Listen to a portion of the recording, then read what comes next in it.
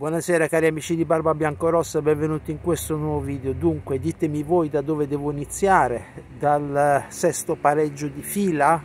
da questo 2-0, 2-2 in rimonta da parte della Reggiana.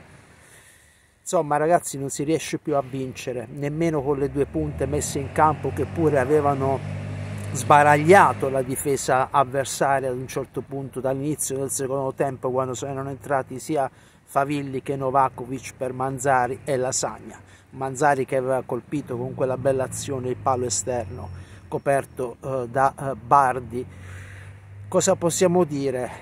La partita l'abbiamo vista tutti quanti, il Bari ha giocato bene, poi si è spenta la luce ad un certo punto, eh, gol che è stato convalidato dopo la review al VAR per quanto riguarda Lucchesi della Reggiana, tenuto in gioco da un piede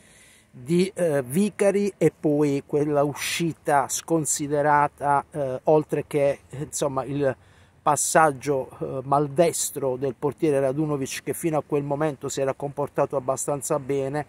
ha procurato il calcio eh, di rigore poi trasformato da Gondò per il 2-2 finale. Purtroppo non riusciamo anche mentalmente questa squadra ad amministrare il gioco ad amministrare il risultato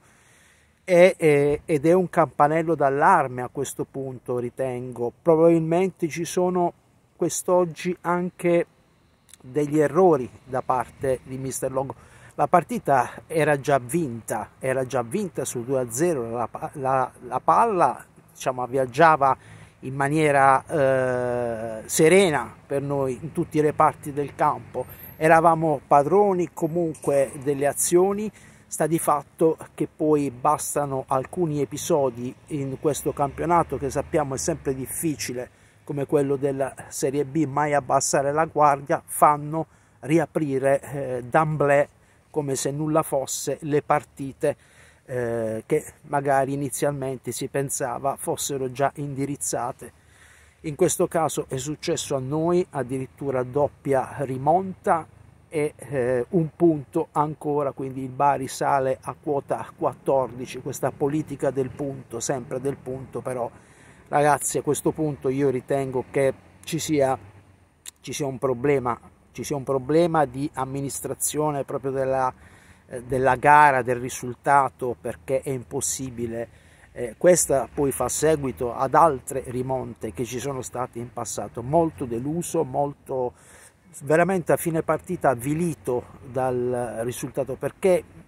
finalmente avevo visto un buon Bari, un Bari che si era risvegliato quest'oggi sotto l'aspetto della determinazione, dell'approccio eh, in campo, eh, delle azioni anche manovrate finalmente senza eh, il gioco aereo, quindi azioni manovrate, azioni che portano al gol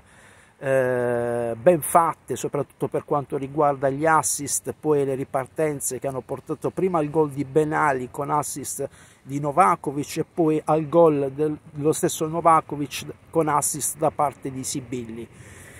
Purtroppo è questo, è il calcio soprattutto, è questo, le partite, eh, bisogna stare fino al 95 sull'attenti ogni volta, ogni partita e mai, eh, mai, essere arrendevoli. Probabilmente c'è qualche errore da parte di eh, Mister Longo, magari qualche difensore, magari vedere Mantovani, un assetto, un muro difensivo per mantenere il risultato, vecchia scuola, no? mettere un po' il pullman, non è servito a questo, però dagli errori, soprattutto quelli nostri, soprattutto eh, di Radunovic, poi si è data molta più chance e sicurezza agli avversari che si sono venuti a prendere il punto al San Nicola. Sesto punto di fila per, Bari,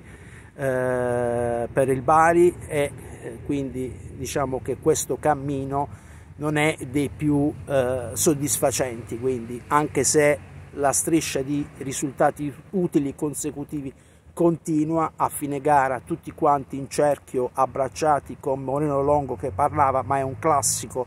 di ogni fine partita peccato veramente peccato perché oggi potevamo commentare una, uh, un Bari in, uh, in gran spolvero quest'oggi ed una gara veramente forse potremmo dire la miglior gara insieme a quella di Frosinone